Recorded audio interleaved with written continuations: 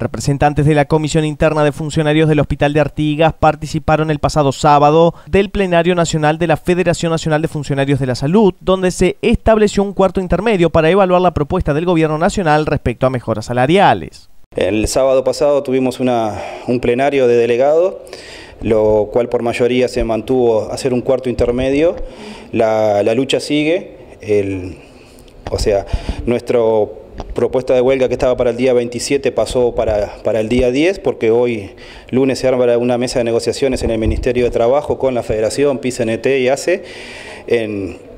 a la hora 15, así que nosotros decidimos por mayoría levantar a un cuarto intermedio, pero seguir con la, con la lucha. ¿Las ocupaciones continúan?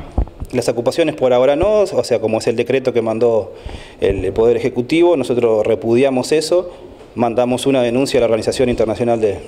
del trabajo,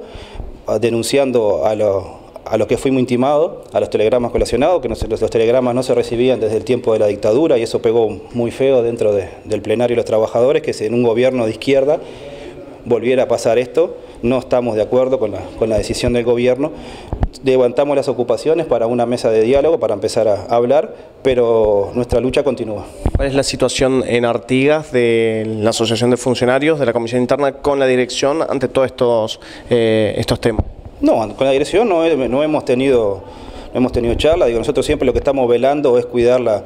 asistencia, digo, y el buen funcionamiento del hospital, me parece que la lucha nuestra no veía involucrada la dirección del hospital, digo, sí, en el conjunto, digo, de la federación, con ASA y con el ministerio, digo, con el, con el ejecutivo, pero no a nivel interno, digo. Dentro de lo que tiene que ver con las próximas medidas de quién más, ¿cuáles están previstas, si es que se puede saber? Sí, eh, como te dije, lo primero es el cuarto intermedio hasta el día 10 de septiembre, donde se, en, este, en estos 10 días se va a valorar digo, la, la, postura del Ejecutivo, si llegamos a un, a un acuerdo o no, si llegamos a alguna medida, que hacer alguna medida que sea favorable para tanto para el Ejecutivo como para los trabajadores. Y el 9 de septiembre estaríamos llamando a un plenario de delegados en, la Federación para resolver qué hacemos, si nos vamos a la huelga o aceptamos la medida puesta por el, por el Gobierno. En Artigas, eh, ¿hay paros previstos en alguna fecha ya como estaban anteriormente estipulados? No, no, los paros ahora quedaron suspendidos, digo, la Federación está dentro del núcleo de COFE y de PCNT, va a respetar los los, paros puestos por COFE y PCNT, ya sean general o parcial, y a nivel de federación, como les dije, mantuvimos el cuarto intermedio, digo, y esperaremos a ver qué es lo que sale por parte del directorio.